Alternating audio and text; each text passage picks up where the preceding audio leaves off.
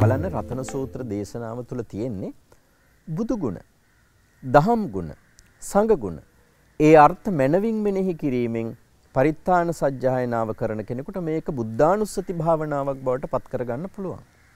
ධම්මානුස්සති භාවනාවක් බවට පත් කරගන්නට පුළුවන්.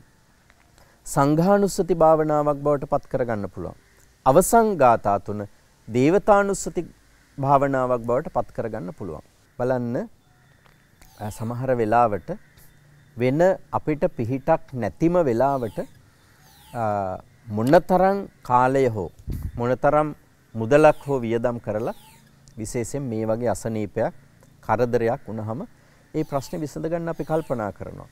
බුදුරජාණන් වහන්සේ අපිට දේශනා කළා තියෙනවා උතුම් බුද්ධානුභාවයෙන් උතුම් ධම්මානුභාවයෙන් උතුම් සංඝානුභාවයෙන් මේ ප්‍රශ්නේ විසඳ ගැනීමේ ක්‍රමවේදය.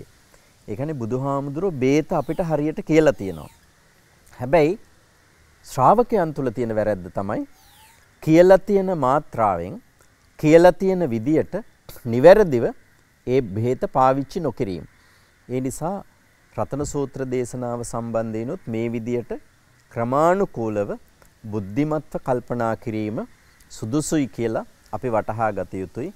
මේ හැම සූත්‍ර දේශනාවක්ම තේරුම දැනගෙන තේරුම අවබෝධ කරගෙන ඊළඟට නිවැරදිව සජ්ජායනා කිරීමෙන් නිවැරදිව උච්චාරණය කිරීමෙන් එහි ප්‍රතිඵල නෙලා ගැනීමට අපි කල්පනා කළ යුතුයි.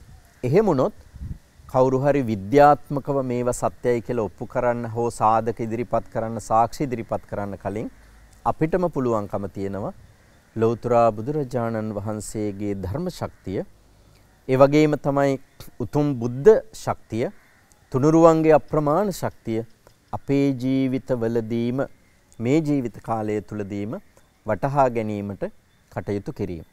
ඒ නිසා රතන සූත්‍ර දේශනාව පරිහරණය කිරීමේදී අර්ථය මනවින් වටහාගෙන ශබ්දය මනවින් අවබෝධ කරගෙන මේ රතන සූත්‍ර දේශනාව සජ්ජායනා කිරීමට කටයුතු කිරීමෙන් අපි මේ රතන සූත්‍ර දේශනාවෙන් උපදවා ගන්න පුළුවන් උසස්ම ප්‍රතිඵල යහපත්ම ප්‍රතිඵල බලවත්ම ප්‍රතිඵල ඔබට ඔබේ දුවා දරුවන්ට ඔබේ නිවසට ඔබ ජීවත් වන පරිසරයට ඇති කර ගන්න විදියට කටයුතු කිරීම ඊටාම වැදගත් බවට පත් වෙනවා.